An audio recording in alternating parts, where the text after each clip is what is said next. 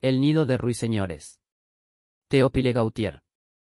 En torno al castillo había un hermoso parque. En el parque había pájaros de todo tipo, ruiseñores, mirlos, curucas, todos los pájaros de la tierra se habían dado cita en el parque. En primavera era tal el tumulto que no permitía entenderse, cada hoja ocultaba un nido, cada árbol una orquesta. Todos los pequeños músicos emplumados se esforzaban a cual mejor. Los unos pipiaban, los otros arrullaban, estos hacían trinos y cadencias perfectas, aquellos recortaban sus gorgoritos o bordaban calderones, músicos auténticos no lo habrían hecho mejor. Pero en el castillo había dos bellas primas que cantaban mejor aún que todos los pájaros del parque, una se llamaba Fleret y la otra Isabeau. Ambas eran bellas, deseables y hermosas, y los domingos, cuando lucían sus lindos vestidos, si sus blancos hombros no hubieran demostrado que eran auténticas chicas, se les habría tomado por ángeles, solo le faltaban las plumas. Cuando cantaban, el anciano señor de Maulebrier, su tío, las tomaba a veces de la mano, por miedo a que no tuvieran la fantasía de echarse a volar. Les dejo imaginar los hermosos lances que se hacían en las fiestas de armas y en los torneos en honor de Fleret y de Isabeau. Su fama de belleza e inteligencia había dado la vuelta a Europa, pero no por eso eran más orgullosas, vivían retiradas sin ver a más personas que al pajecillo Valentín, un hermoso niño de cabellos rubios, y al señor de Maulebrier, anciano canoso, curtido y muy quebrantado por haber llevado durante sesenta años sus pertrechos de guerra. Pasaban el tiempo dándole de comer a los pájaros, recitando sus oraciones, y, principalmente, estudiando las obras de los maestros y ensayando juntas algún motete, madrigal, villanesca o cualquier otra melodía, tenían también flores que regaban y cuidaban personalmente. Su vida transcurría en dulces y poéticas ocupaciones de jovencitas, se mantenían a la sombra y lejos de las miradas del mundo, sin embargo, el mundo se ocupaba de ellas.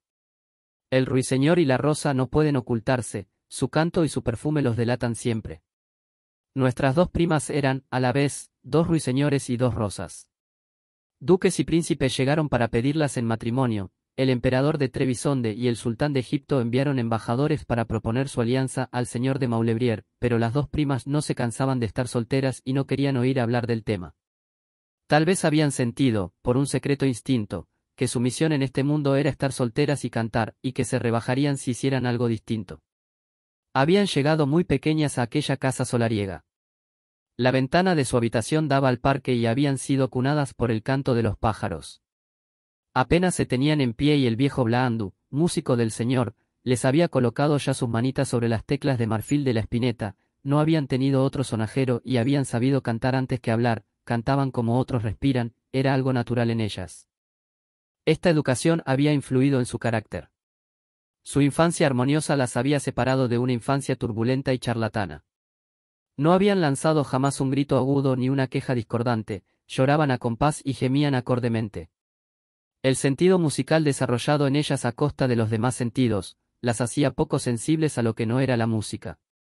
Flotaban en una nube melodiosa, y no percibían el mundo real sino por los sonidos.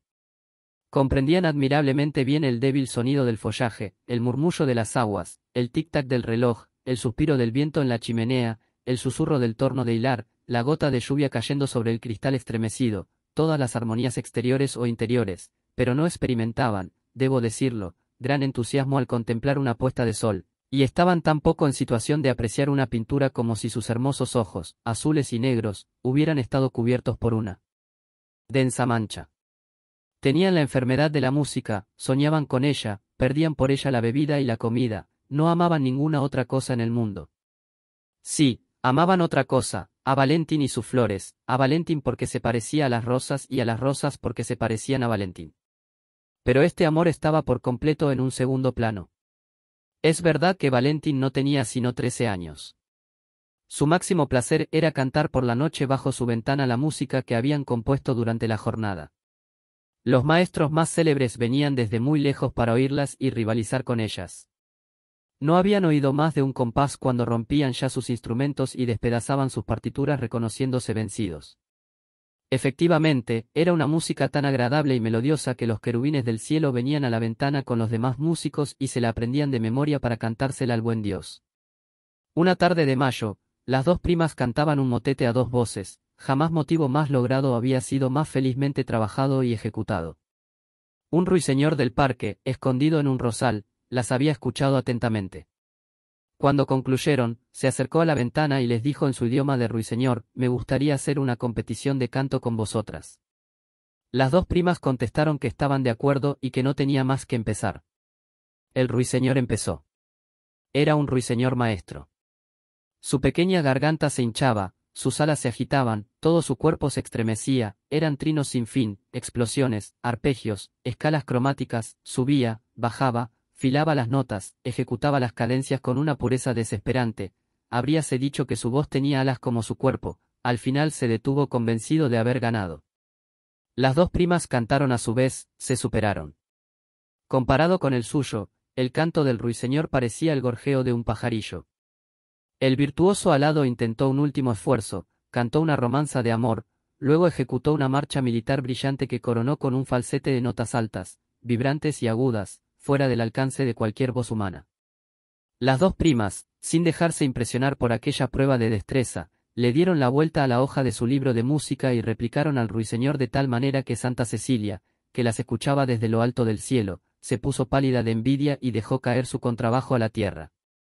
El ruiseñor intentó cantar una vez más, pero aquella lucha lo había agotado por completo, le faltaba el aliento, sus plumas estaban erizadas, sus ojos se le cerraban en contra de su voluntad, iba a morir.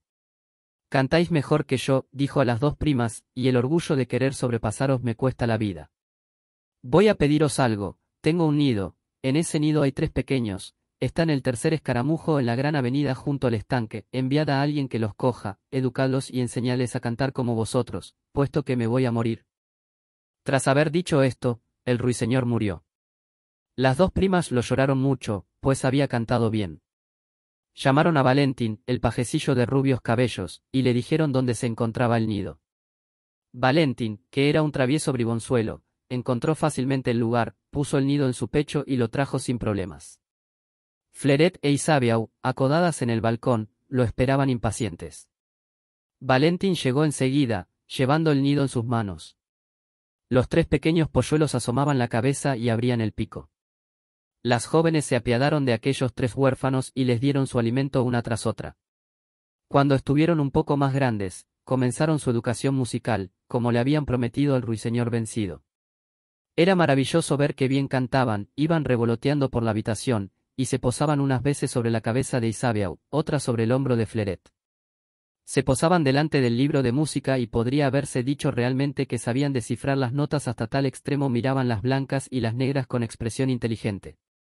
Habían aprendido todas las melodías de Fleret y de Isabeau, y comenzaban a improvisar ellos mismos otras muy bonitas. Las dos primas vivían cada vez más solitarias, y por la noche se oía salir de su habitación sonidos de una melodía sobrenatural.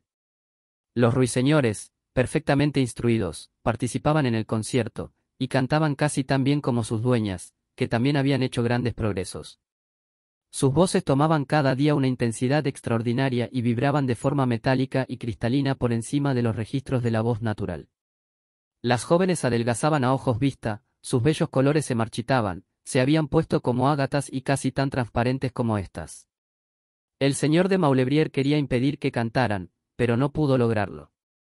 Tan pronto como habían ejecutado unos cuantos compases, una pequeña mancha roja se dibujaba en sus pómulos y se agrandaba hasta que acababan, entonces la mancha desaparecía, pero un sudor frío corría por su piel, y sus labios temblaban como si hubieran tenido fiebre. Por lo demás, su canto era más bello que nunca, tenía algo que no era de este mundo y al oír aquella voz sonora y poderosa salir de aquellas dos frágiles jovencitas, no era difícil prever lo que ocurriría, que la música rompería el instrumento. También ellas lo comprendieron así y se pusieron a tocar su espineta, que habían abandonado por la vocalización. Pero una noche, la ventana estaba abierta, los pájaros gorjeaban en el parque, la brisa suspiraba armoniosamente, había tanta música en el aire que no pudieron resistir la tentación de ejecutar un dúo que habían compuesto la víspera. Fue el canto del cisne, un canto maravilloso regado en lágrimas, elevándose hasta las cimas más inaccesibles de la gama, una lluvia ardiente de dardos cromáticos, fuegos artificiales de música imposibles de describir, pero mientras tanto, la pequeña mancha roja se agrandaba y les cubría casi todas las mejillas.